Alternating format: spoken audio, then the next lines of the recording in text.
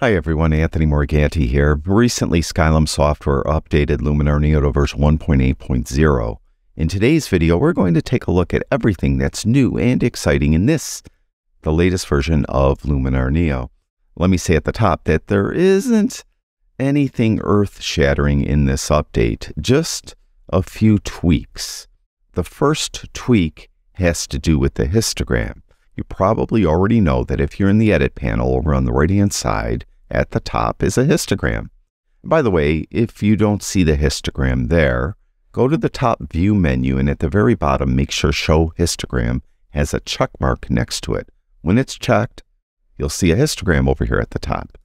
The tweak is they've added the histogram to the edits panel as well. So when you're in your edits panel at the top, there's a histogram. Now the next set of tweaks they're calling previews on hover.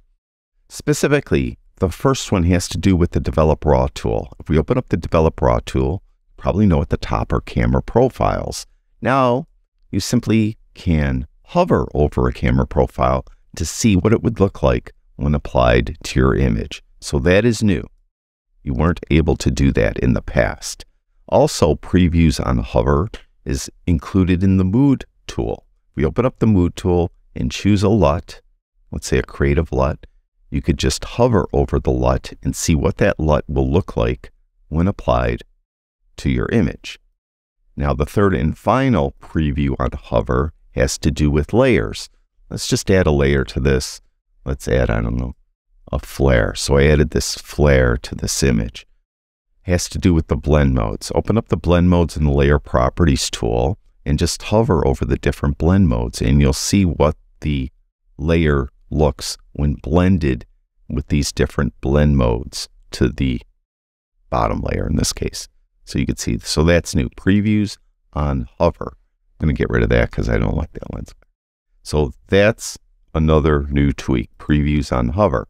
Now this actual, this next new thing I thought was in Luminar Neo, but I'm probably getting confused with Luminar AI. It has to do with presets. Let's go over to presets and let's just uh, pick a preset. Now, hover on presets was always there. Let's go to hyperdrive and let's say I'm applying this preset. I'll click on it. Now there's an amount slider. I really thought that was always there, but apparently that's new as well. So that's new. I'm going to undo that. And the final tweak has to do with seeing a before after. And I thought this was in Luminar Neo as well. But again, I'm probably getting confused with Luminar AI. Uh, now at the very bottom, they have this tool right here. If we click on it, we have the slider. So we have before after with a slider. So that's new. Another new tweak added to this version of Luminar Neo. Again, that's version 1.8.0.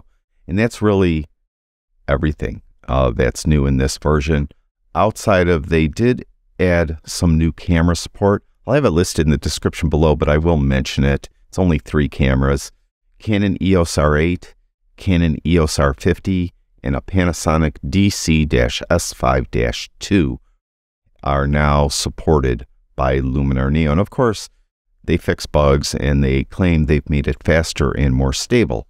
So that's always a good thing. So that's everything that's new. And somewhat exciting in Luminar Neo. Thank you, everyone who watches my videos. I really do appreciate it. Talk to you guys soon.